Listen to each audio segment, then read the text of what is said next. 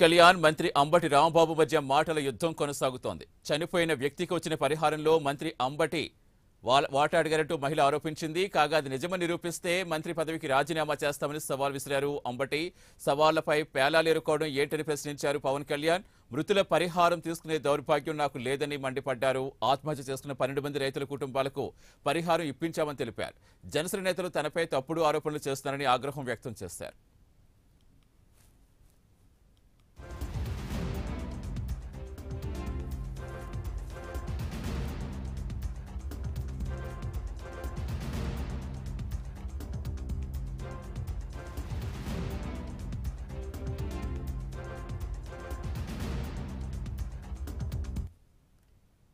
పవన్ కళ్యాణ్ గారే చేశారు.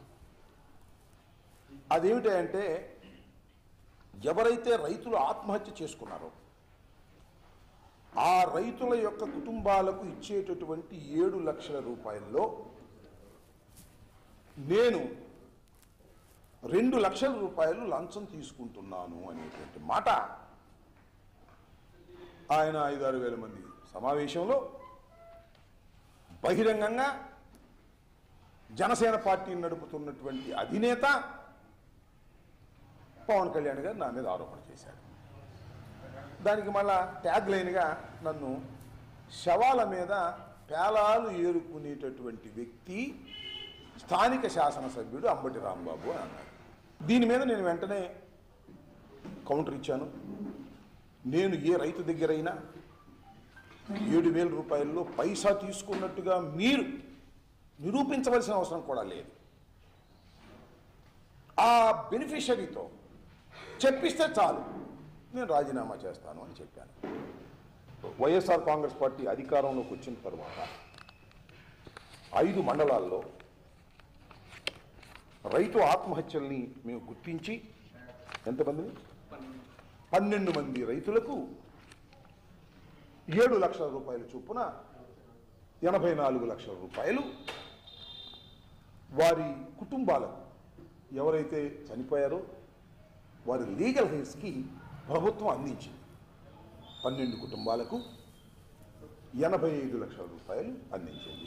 పవన్ కళ్యాణ్ గారు ఇంతవరకు సమాధానమే లేదు. ఆయనకు సమాధానం లేదు కానీ ఆయనకి చంద్రబాబు నాయుడు గారికి ఒకే పార్టీని నమ్ముకున్నాను ఒకే కుటుంబాన్ని నమ్ముకున్నాను నా జీవితం అంతా అలాగే సాగుతుంది. నిజంగా నేను కక్కుర్తిపడి రెండు లక్షలు తీసుకునేటటువంటి దౌర్భాగ్యమైన పరిస్థితి ఉంటే పదవిని తృణప్రాయంగా వదిలేసి వెళ్ళిపోతా. పవన్ కళ్యాణ్ గారే చేశారు. అదేమిటంటే ఎవరైతే రైతులు ఆత్మహత్య చేస్తూ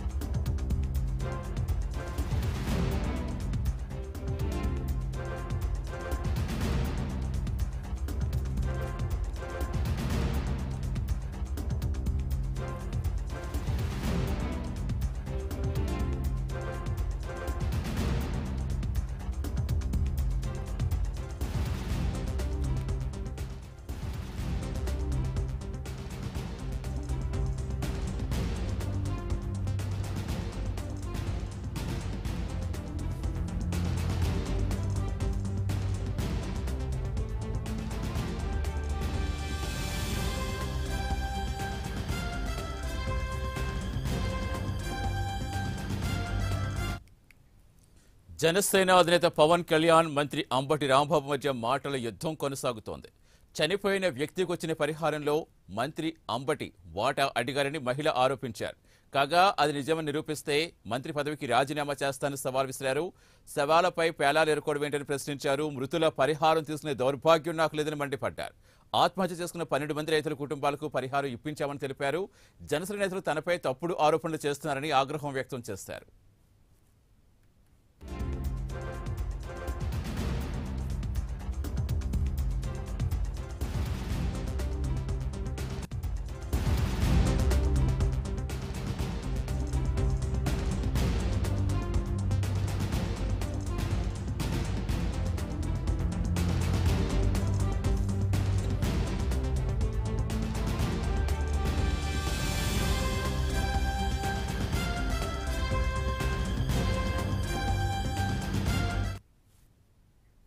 జనసేన నేతలు మంత్రి అంబటి రాంబాబు మధ్య మాటల యుద్ధం కొనసాగుతోంది. ప్రస్తుతం పూర్తి సమాచారం ఇచ్చింది మా కరెస్పాండెంట్ శ్రీనివాస్ జాయిన్ అవుతున్నారు. శ్రీనివాస్ జనసేన నేతలు చెప్తుంటే అది నాపై ఆరోపణలు చేస్తున్నారని అంబటి రాంబాబు చెప్తున్నారు. స్వయంగా బాధితులే వచ్చి ఇప్పుడు చెప్తున్నారు. ఇప్పుడు మరి ఇప్పుడేం చెప్తారు? వారికి పరిహారం ఇప్పించే బాధ్యత మంత్రిగా లేదా ఎప్పుడు ఇవ్వబోతున్నారు? అసలు ఏమైనా క్లారిటీ వచ్చే అవకాశం ఉందా?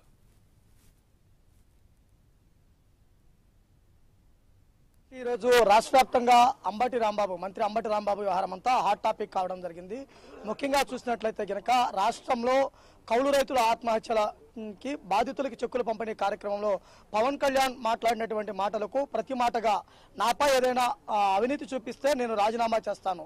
మంత్రి పదవికి రాజీనామా చేస్తాను. శాసనసభ సభ్యత్వానికి రాజీనామా చేస్తామని ప్రకటించి ఇరవై నాలుగు గంటల గడవక ముందే సత్తెనపల్లిలో ఒక పేదవాడు అనిల్ అనే వ్యక్తి మృతి చెందితే వారి కుటుంబానికి ఆ పథకం కింద ఐదు లక్షల రూపాయల చెక్కు రావడం జరిగింది.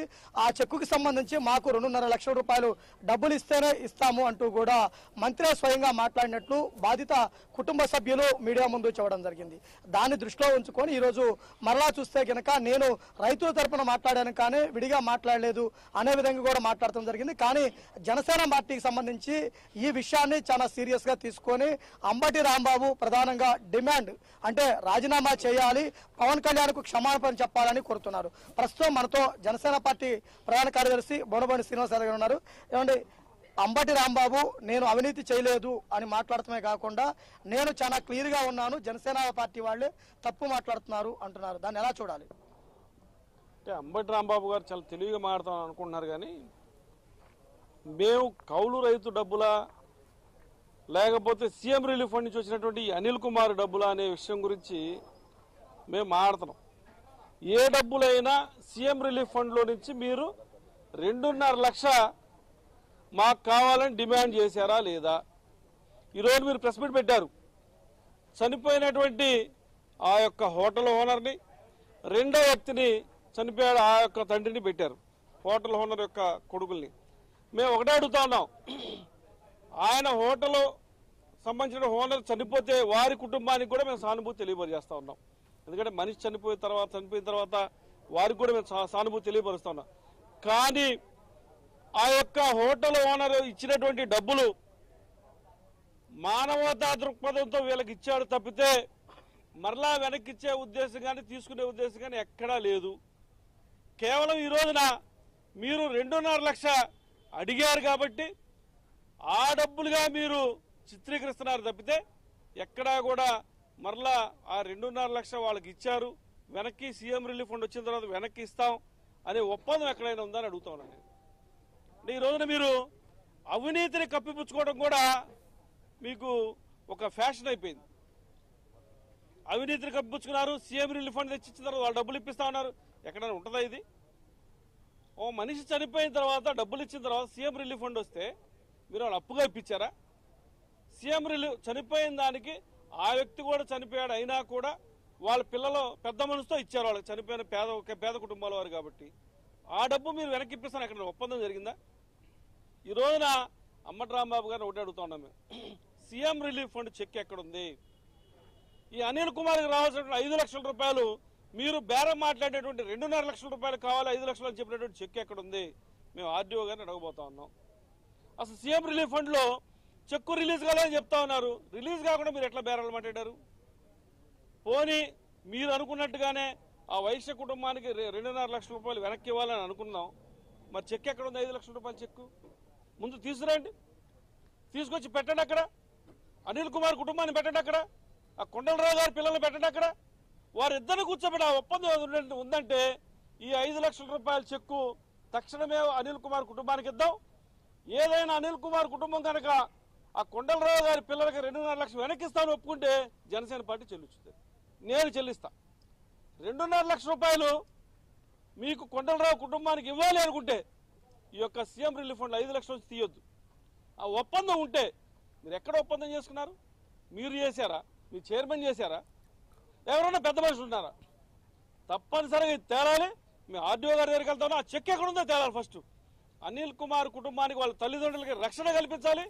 వారికి రావాల్సినటువంటి సీఎం రిలీఫ్ ఫండ్ ఐదు లక్షల రూపాయలు తక్షణమే ఇవ్వాలని చెప్పి కూడా మేము డిమాండ్ చేస్తాం. అంటే ముఖ్యంగా చూస్తే ఇక్కడ అంబటి రాంబాబు మాట్లాడేది పవన్ కళ్యాణే కావాలని తప్పిదాలు చేస్తున్నారు. మేము చాలా క్లియర్గా ఉన్నాము. మేము ఎక్కడ అవినీతికి పాల్పడలేదు అంటున్నారు. దాన్ని ఎలా చూడాలి? అసలు కుటుంబ సభ్యులు చెప్తా ఉన్నారు. ఈరోజు అనిల్ కుమార్ తల్లిదండ్రులు చెప్తా ఉన్నారు. దానికి సమాధానం లేదు. వంకర మాటలొద్దు. వంకర విషయాలను మాట్లాడుకోవద్దు మనం. మీరు ఒక పెద్ద మనుషులు పెట్టండి. మేము కూడా మా పార్టీ తరఫున పెద్ద మనుషులు వస్తారు. బాధిత కుటుంబీకులతో మాట్లాడిద్దాం. ఎవరైతే పట్టణంలో పెద్ద మనుషులు అనుకుంటారో మీరే సెలెక్ట్ చేయండి. ఎవరైతే కొండలరావు గారి కుటుంబం ఉందో ఎవరైతే అనిల్ కుటుంబం ఉందో వారిద్దరిని కూర్చోబెడదాం. ఆ రోజు ఏం జరిగిందో తెలుసుకుందాం. మీరు చెప్పినట్టుగా అనిల్ కుటుంబం మరలా వెనక్కి రెండున్నర లక్షలు ఇచ్చే ఒప్పందం ఉంటే అది మేమే ఇస్తాం. ఆ పేద కుటుంబం జోలికి మీరు రావద్దు. ఐదు లక్షల రూపాయలు తక్షణమే వాళ్ళకి ఇప్పించండి మరి. కొండలరావు కుటుంబ సభ్యులు కనుక మాకు ఇవ్వాలని ఒప్పుకున్నాం మాకు ఇచ్చే పని అయితే మేము ఇచ్చాను వాళ్ళు చెప్పినా అనిల్ కుటుంబ సభ్యులు మేము ఇస్తామని ఒప్పుకున్నామని చెప్పినా ఎవరు పెద్ద మనుషులు ఇవన్నీ కూడా ఎవరు తెలుస్తారో మీరు ఈ సత్తెనపల్లి పట్టణంలో సత్తెనపల్లి నియోజకవర్గంలో ఎవరైనా సరే పార్టీలతో సంబంధం లేకుండా పెద్ద మనుషులు పెట్టండి. రెండు కుటుంబాలతో మాట్లాడండి. ఆ రెండున్నర లక్షలు ఇవ్వడానికి మేము సిద్ధం జనసేన పార్టీ సిద్ధంగా ఉందని చెప్పి కూడా తెలియజేస్తాం అయితే బాధిత కుటుంబాలకి ఇంతవరకు చెక్కు అందలేదు కదా. ప్రభుత్వం బాధ్యత తీసుకోవాలి మంత్రి బాధ్యత తీసుకోవాలి. జనసేన పార్టీ తరఫున వారికి ఎలా అండగా ఉంటారు మీరు బాధితులకి? తప్పనిసరిగా సీఎం రిలీఫ్ ఫండ్ చెక్ వస్తుంది కాబట్టే మీరు మాకు సగం ఇవ్వాలని చెప్పి వాళ్ళు డిమాండ్ చేశారు. ఆ చెక్ ఎక్కడ ఉందో తేలాలి ఇప్పుడు. తక్షణమే ఐదు లక్షల రూపాయల చెక్ అనిల్ కుమార్ కుటుంబానికి ఇవ్వాలి. అదే మా డిమాండ్.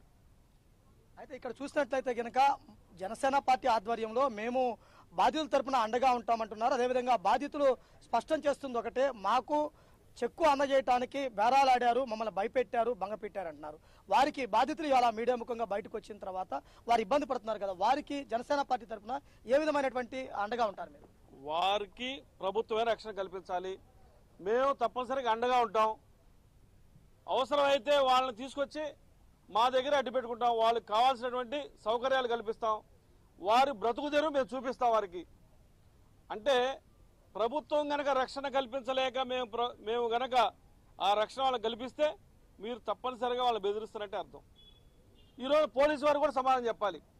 బాధితుల కుటుంబానికి మీరు రక్షణ కల్పిస్తారా లేదా? కలెక్టర్ గారు ఎస్పీ గారు ఆర్డీఓ గారు వెంటనే సమాధానం చెప్పాలి. బాధిత కుటుంబీకులకి రక్షణ ఏ విధంగా కల్పిస్తారు మేము అడగబోతున్నాం ఇప్పుడు వెళ్ళబోతున్నాం. ఆర్డీఓ గారి దగ్గరికి వెళ్తాం. అక్కడ వచ్చినటువంటి సమాధానం బట్టి తర్వాత కలెక్టర్ గారిని కలవాలో ఎస్పీ గారిని కలవాలో నిర్ణయించుకుంటాం. సార్ మీరు చెప్పండి జనసేన పార్టీ అధినేత పవన్ కళ్యాణ్ సభ పెట్టి ఆ మంత్రి అవినీతిని ప్రశ్నించినందుకే ఇదంతా రాద్ధాంతం చేస్తున్నారా? మేము రాద్ధాంతం ఏం చేయట్లేదే. మేము వాస్తవం. ఏదైతే వాళ్ళ బాధితురాలు వచ్చి పవన్ కళ్యాణ్ గారి మీటింగ్ జరిగిన తర్వాత వాళ్ళలో ఒక ధైర్యం వచ్చింది. మాకు ఒక ధైర్యవంతమైన లీడర్ వచ్చాడు. ఆ లీడర్ ఉన్నాడు కాబట్టి ఒక ధైర్యంగా ఇవాళ మేము చెప్పినా కానీ ఖచ్చితంగా మాకు అండగా ఉంటుందనే ఒక ఉద్దేశంతో వాళ్ళు రావడం జరిగింది. దానికి మేము నిన్న ఏదైతే అవాకులు చవాకులు పేలాడో ఈ మంత్రి గారు అరే బాబు నువ్వు చెప్పిన ప్రకారమే నువ్వు ఏదైతే ఛాలెంజ్ ఇచ్చినావో ఆ ఛాలెంజ్నే మేము స్వీకరించమంటున్నాం చెప్తే ఇక్కడ మేమేమి రాద్ధాంతం చేయట్లేదు మేమేమి అభూత కల్పన సృష్టించడం లేదు ఇక్కడ మేకేమి ఆయన మీద ఏదో వ్యక్తిగతంగా ద్వేషాలు లేవు లేదంటే పార్టీ మీద లేదు. వాస్తవం ఏదైతే జరిగిందో ఆ వాస్తవాన్ని ఇవాళ మీడియా ముందు పెట్టాము. ప్రపంచం యావత్తు చూసింది మాకు సంబంధం లే. మీడియానే మీడియా ముందు పెట్టాము. మీడియా మొత్తం కూడా వాళ్ళతో మాట్లాడారు. వాళ్ళు చెప్పింది అన్ని లైవ్ చేశారు. ఆ టెలికాస్ట్ వచ్చిన తర్వాత ఇవాళ వచ్చి ఏదేదో మాట్లాడితే మేమేం చేస్తామండి? మేము ఎప్పుడు రాద్ధాంతం చేయం? మేము ఎప్పుడు కూడా ఈ రాష్ట్రం అభివృద్ధి కోసం ప్రజల సంక్షేమం కోసమే ఉన్నాం మేము కూడా అంటే బాధితులకి చెక్కు ఇప్పించడానికి మీరు ఎటువంటి భరోసా ఇస్తారు ప్రభుత్వాన్ని ఏమని ప్రశ్నించడానికి సిద్ధమవుతున్నారు అంబటి రాంబాబు గారు రాజీనామా ఇవాళ చేస్తారా? రేపు ఉదయం చేస్తారా? లేకపోతే ఏదైనా మంచి రోజు చూసుకుని రాజీనామా చేస్తారా? మా డిమాండ్ ఒకటే అంబటి రాంబాబు రాజీనామా ఎప్పుడు చేస్తాడు? ఇంకా వేరే డిమాండ్ ఏం లే. ఆయన ఒక ఛాలెంజ్ ఇస్తున్నాడు ఇవాళ బాధితులు వచ్చారు. నీ యొక్క సత్తినపల్లి నియోజకవర్గంలోని మున్సిపాలిటీలో ముప్పై ఒకటో వార్డులో నీకు సంబంధించి నీ ఆఫీస్కి నీ యొక్క మీ మీ పార్టీ ఆఫీసులు దగ్గరగా ఉన్నటువంటి వ్యక్తులే ఇవాళ వచ్చి మామూల్ని ఈ రకంగా అమ్మటి రాంబాబు గారు ఫిఫ్టీ ఫిఫ్టీ అన్నాడు. వచ్చిన దాంట్లో ఫిఫ్టీ పర్సెంట్ మీకు ఫిఫ్టీ పర్సెంట్ నాకు అని చెప్పాడు. ఈ రకంగా ఎంత పర్సెంటేజ్లు వాళ్ళు తీసుకున్నారనేది మాకు అనవసరం. కానీ మీరు ఏదైతే ఛాలెంజ్ ఇస్తారో ఆ ఛాలెంజ్కి వాళ్ళు వచ్చి చెప్పారు మమ్మల్ని ఈ రకంగా అడిగామని అది అవినీతి అంటారా కాదంటారా ఆయన తెలుసుకోవాలి. అదేమంటే ఏదో చెప్తున్నారు ఇందాక ఎవరు. నేను రైతుల గురించి మాట్లాడాను అంటే అవినీతిలో రకరకాల అవినీతులు అంటే నాకు తెలియదు మీరు చెప్పండి మీరు. అంటే రైతులతో ఒక అవినీతి బాధితులతో అవినీతి లేదంటే వాళ్ళు చెప్తున్నారు కదా జయహో బీసీ అని ఈ మధ్యన పెట్టారు కదా. పాపం వాళ్ళు కూడా బీసీ కమ్యూనిటీకి చెందిన వాళ్ళే. మరి జయహో బీసీ అంటే ఫిఫ్టీ పర్సెంట్ మాకేమన్నా మాకు తెలియదు మరి ఆయన చెప్పాలి అది కూడా అది కూడా ఆయన చెప్తుంటాం. అట్లాగే బీసీలకు ఒక అవినీతి ఎస్సీలకు ఒక అవినీతి ఇట్లా అవినీతి ఉంటాయి మరి? ఒక్కొక్క సెక్టార్కి ఒక్కొక్క అవినీతి అంటే వాళ్ళకి తెలుసు. ఏ డిపార్ట్మెంట్లో ఏ రకంగా తీసుకుంటే వాళ్ళు తెలుసు కాబట్టి మాకు ఆ విషయం తెలియదు కదా. మేము అందుకని ఓవరాల్గా అవినీతి జరుగుతుందని చెప్పాను చెప్తే దీంట్లో అవినీతి ఆయన అమ్మడాడు కదా దీంట్లో అవినీతి జరిగిందని చెప్పాలి. ఆ రకంగా మాకు రాదండి. ఆ వ్యంగ్యాలు ఆ వ్యాసలు మాకు రావు. మేము ఇక్కడ అంబిరా అంబటి రాంబాబు గారు అవినీతి చేస్తున్నాడని చెప్పాం. ఆ అవినీతికి ఇవాళ నువ్వు సాక్ష్యం అడిగావు. ఆ సాక్ష్యం మేము తీసుకురాలా? డైరెక్ట్గా బాధితులు వచ్చారు. పవన్ కళ్యాణ్ గారు ఈ గడ్డ దొక్కిన తర్వాత ఈ గడ్డ మీద ఉన్న జనానికి ఒక ధైర్యం వచ్చింది.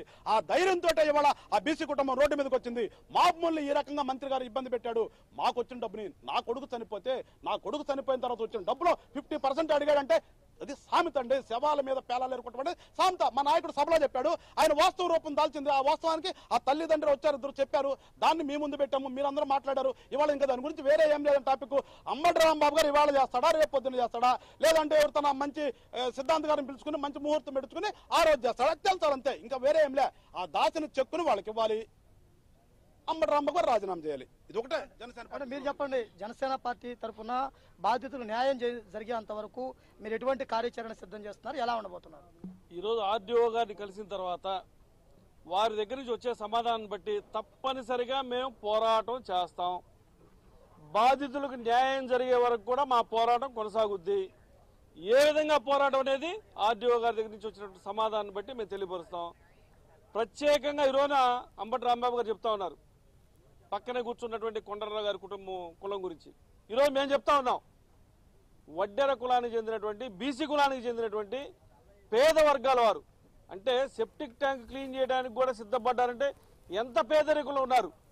అటువంటి సెప్టిక్ ట్యాంక్ క్లీనర్ల దగ్గర కూడా మీరు డబ్బులు ఆశిస్తున్నారంటే మీరు ఇంక ఎంత నీచంగా ఉంటారో సెప్టిక్ ట్యాంకులో ఏముంటుందండి? దానిలో సగం అడిగారు మీరు. ఆ ట్యాంకులో సగం అడిగారు.